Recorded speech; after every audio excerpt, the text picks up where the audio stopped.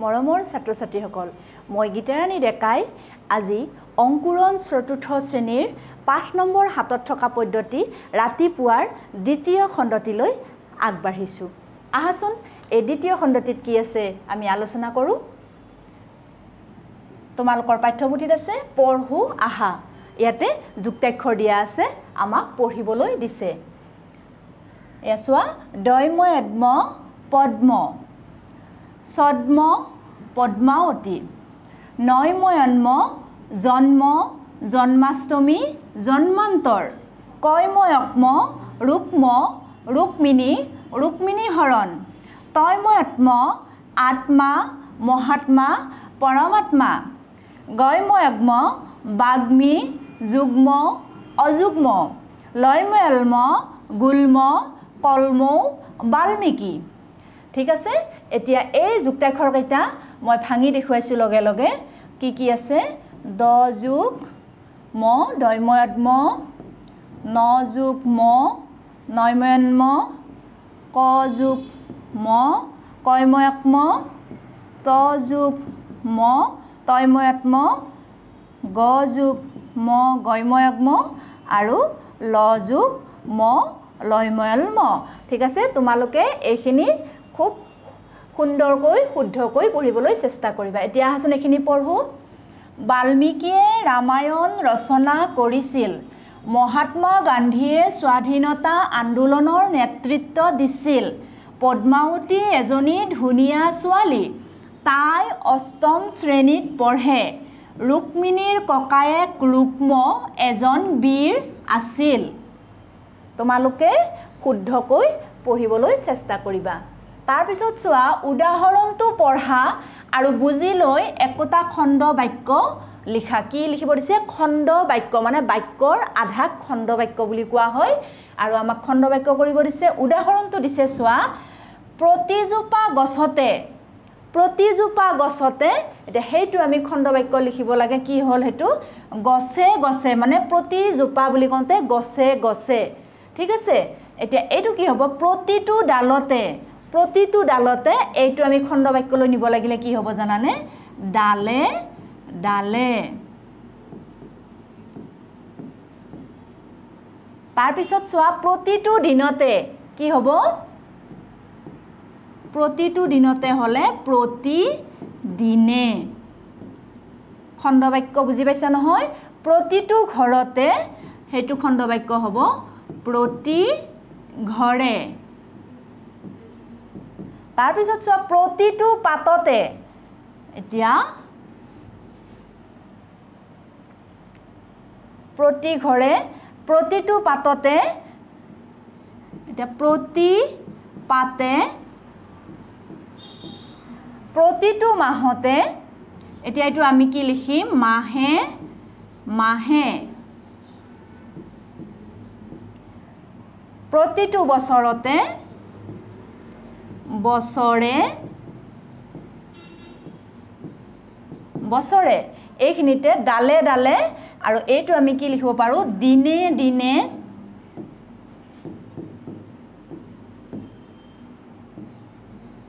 এইটো হ'ল ঘৰে ঘৰে এইটো হ'ল পাতে পাতে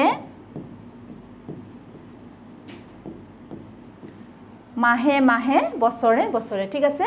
গছে গছে ডালে ডালে দিনে দিনে ঘৰে ঘৰে পাতে পাতে মাহে মাহে বছৰে বছৰে। তাৰপিছত চোৱা উদাহৰণটো ভালদৰে চোৱা এতিয়া ফুলৰ পৰা শব্দলৈ নতুন শব্দ গঠন কৰা। নতুন শব্দ গঠন কৰিব দিছে কি কৈছে?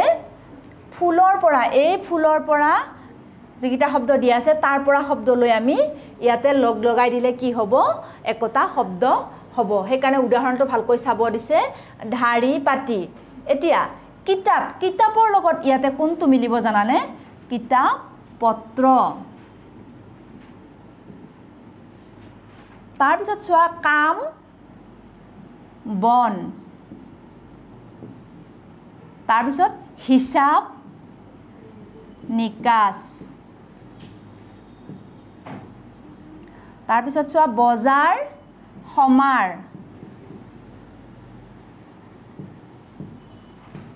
তাৰপিছত ঘৰ দুৱাৰ। ধৰিব পাৰিছা নহয় এইকেইটা মিল থকা শব্দ এইটোৰ লগত সেইটো লগ লগাই দিলে ধুনীয়াকৈ এটা শব্দ হৈ যায়। তাৰপিছত চোৱা জানো আহা। পাঠ্যপুথিত আছে তোমালোকৰ চোৱাচোন সকলোৱে চোৱা পুথি মেলি লয় শিকে নিজ পঢ়া মন থিৰকৈ পদ্যটোৰ বাক্যকেইটাত এইটো পদ্যটোত থকা বাক্য নহয়নে বাৰু? পদ্যটোৰ বাক্যকেইটাত লৈ আৰু কৈ লিখা হৈছে যদিও আচলতে এই শব্দ দুটা লৈ আৰু কৈ। বুজি পাইছানে? আমি লত ঐকাৰ কত ঐকাৰ এনেকৈ লিখোঁ লৈ আৰু কৈ। কিন্তু পদ্যটোত লিখা হৈছে ল ই আৰু ক ই। মন কৰিবা কথাটো। এতিয়া পদ্যত ছন্দ মিলাবলৈ হে এই শব্দ দুটা এনেধৰণে ব্যৱহাৰ কৰা হৈছে। মানে কি? ছন্দ মিলাবৰ কাৰণেহে পদ্যত লৈ বা কৈ নকৈ কি কৰিছে? লয় কয় এই বুলি ব্যৱহাৰ কৰা হৈছে। এতিয়া কেনেকৈনো ব্যৱহাৰ কৰা হৈছে? চাওঁ আহাচোন। এয়া দেখিছানে? তলৰ শব্দবোৰ তেনেদৰে লিখোঁ আহা এয়া মৌ। মৌ হয়নে? এইটো হ'ব মৌ। এতিয়া গৈ গৈ গৈটো হ'লে আমি কি লিখোঁ? এইটো গৈ নহয়নে বাৰু? মুখলৈ। এইটো কি হ'ব? মুখ লৈ আমি লৈ কৰি দিলোঁ। তাৰপিছত সৌ সৌটো হ'লে কি হ'ব? এইটো। তাৰপিছত ঢৌ কেনেকৈ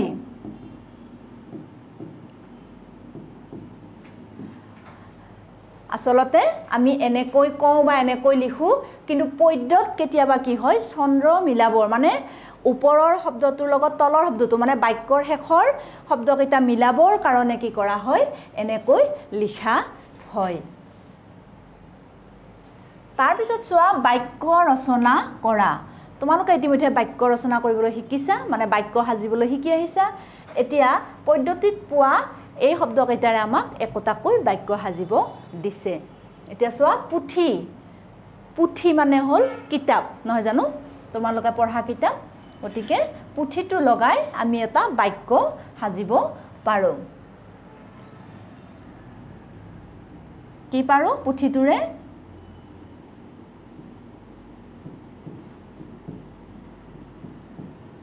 কীৰ্তন এখন ধৰ্ম পুথি।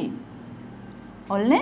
তাৰপিছত চোৱা মন থিৰ মন থিৰ মানে মনটো ডাঠ কৰি বেলেগ ফালে মন নিদি অন্য ফালে মন নকৰি নিজৰ কামটোতে যিটো মন দিয়া বুলি কোৱা হয়। এইটো মন থিৰ এতিয়া মন স্থিৰ কৰি পাঠ পঢ়িব লাগে। কি কৰিব লাগে? পাঠটো মন থিৰ কৰি পঢ়িব লাগে। এতিয়া ৰঙাবেলি ৰঙাবেলি কি হ'ব? কেতিয়া ওলায়? পূব আকাশত নহয়নে বাৰু? পূব আকাশত ৰঙা বেলি ওলায় হৈ গ'ল বাক্য।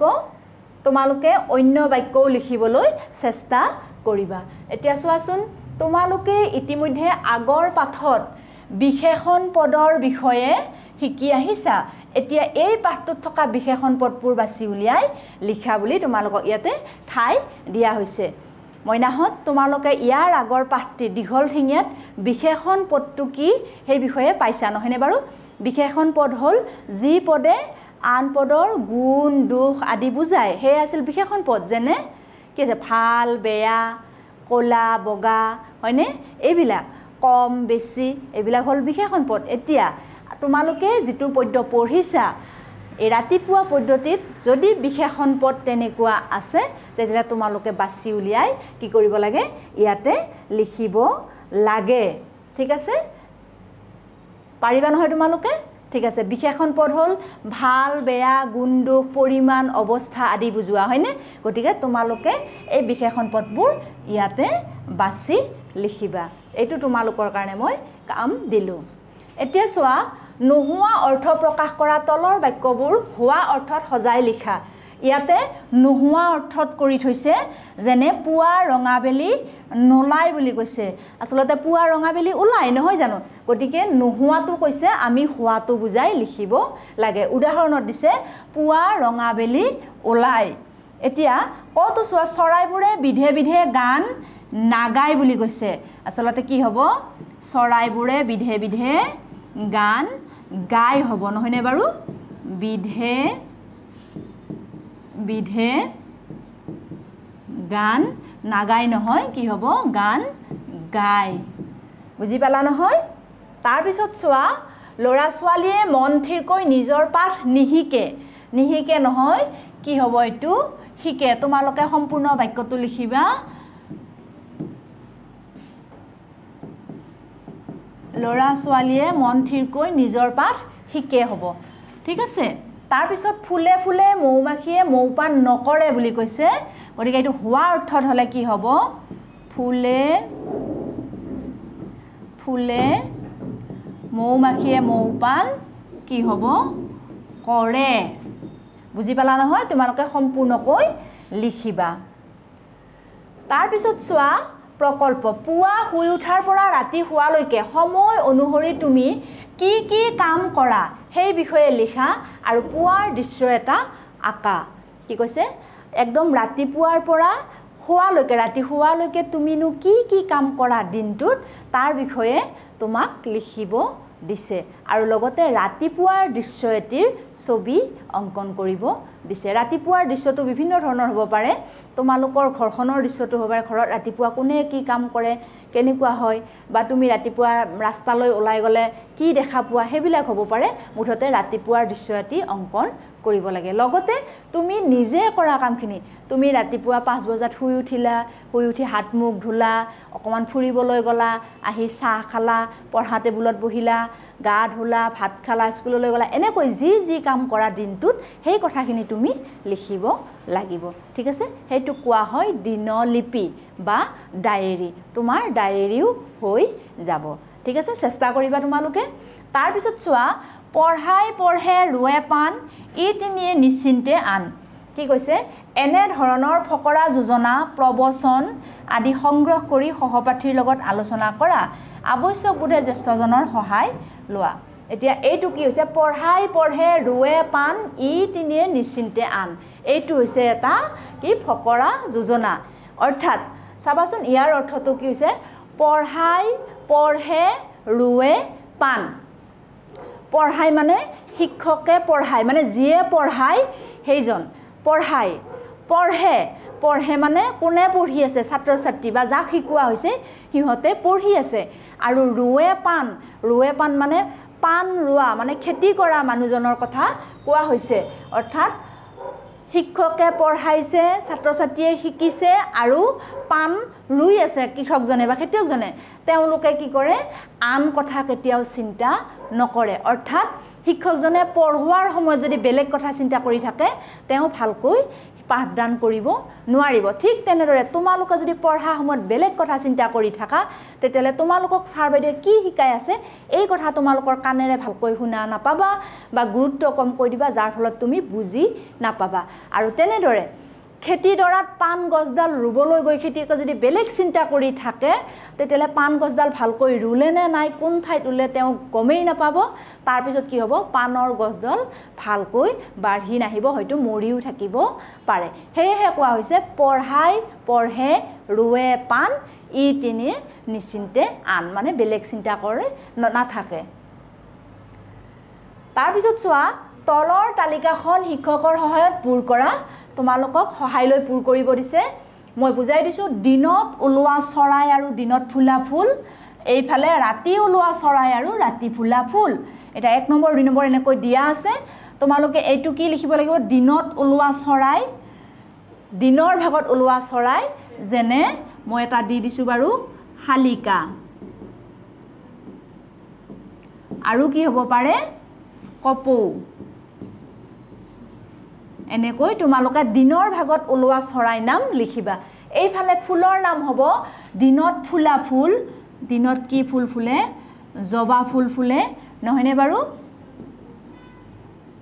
গোলাপ ফুল ফুলে এনেকৈ দিনৰ ভাগত ফুলা ফুলৰ নামহে তোমালোকে লিখিবা। নাৰ্জী ফুল ফুলে এনেকৈ লিখিবা। তাৰপিছত ৰাতি ওলোৱা চৰাই ৰাতিৰ ভাগত ওলোৱা চৰাইনো কি? যিটো নিশাচৰ বুলি কোৱা হয় নহয়নে বাৰু? আমি পাওঁ ফেঁচা বাদুলি হয়নে? এনেকৈ এইবিলাক চৰাই ৰাতি ওলায়। তাৰপিছত ফুলৰ নাম কি হ'ব? ফুল ৰাতি কোনবিলাক ফুলে? শেৱালি নহয়নে বাৰু? শেৱালি বকুল তগৰ এইবিলাক ফুল কেতিয়া ফুলে? ৰাতি ফুলে। অৰ্থাৎ ৰাতি ফুলা ফুল প্ৰায়বিলাক প্ৰায়বিলাক ফুল ৰাতি কোনবিলাক ফুলে জানানে? যিবিলাকৰ সুগন্ধি মানে গুণ থকা ফুলবিলাক ৰাতি ফুলে আৰু বগা ফুলবিলাকো ৰাতি ফুলে। মন কৰিবা ৰাতি ফুলা ফুলৰ ভিতৰত বগা ফুল আৰু গুণ থকা ফুলবিলাকেই প্ৰকৃততে কি হয়? ৰাতি ফুলা ফুল হয়। ঠিক আছে? গতিকে তোমালোকে এনেদৰে চেষ্টা কৰিবা আৰু লিখিবা। মইনাহঁত আমি এই পাঠটিত কি শিকিলোঁ? একবচন আৰু বহুবচন ইয়াৰ আগৰ পাঠত আমি বিশেষ্য পদ আৰু বিশেষণ পদৰ কথা শিকিছিলোঁ। এতিয়া এই পাঠটিত আমি ব্যাকৰণৰ ভিতৰত একবচন আৰু বহুবচননো কি এই বস্তুটো শিকিলোঁ। লগতে আমি কি কৰিলোঁ এয়া দেখিছা নহয় ৰাতি ফুলা ফুল দিনত ফুলা ফুল ৰাতি ওলোৱা চৰাই ইয়াৰ বিষয়েও তোমালোকৰ জ্ঞান লাভ কৰিলা। লগতে তোমালোকে কিতাপ পত্ৰ ঢাৰি পাতি আচবাব এনেকুৱা ধৰণৰ লগ লগাই দিলে যে এটা নতুন শব্দ সৃষ্টি হয় এইটো তোমালোকে এই পাঠটিৰ পৰা শিকিলা। আৰু তাতকৈও ডাঙৰ কথা তোমালোকে গম পালা যে একদম দুখ মোকালিতে সূৰ্য উদয় হোৱাৰ আগতেই কি কৰিব লাগে আমি শোৱা পাতি বা বিচনা এৰিব লাগে ই স্বাস্থ্যৰ পক্ষে উপকাৰী। এই কথাখিনি তোমালোকে জানিব পাৰিলা। ঠিক আছে আজিলৈ এৰিছোঁ ধন্যবাদ।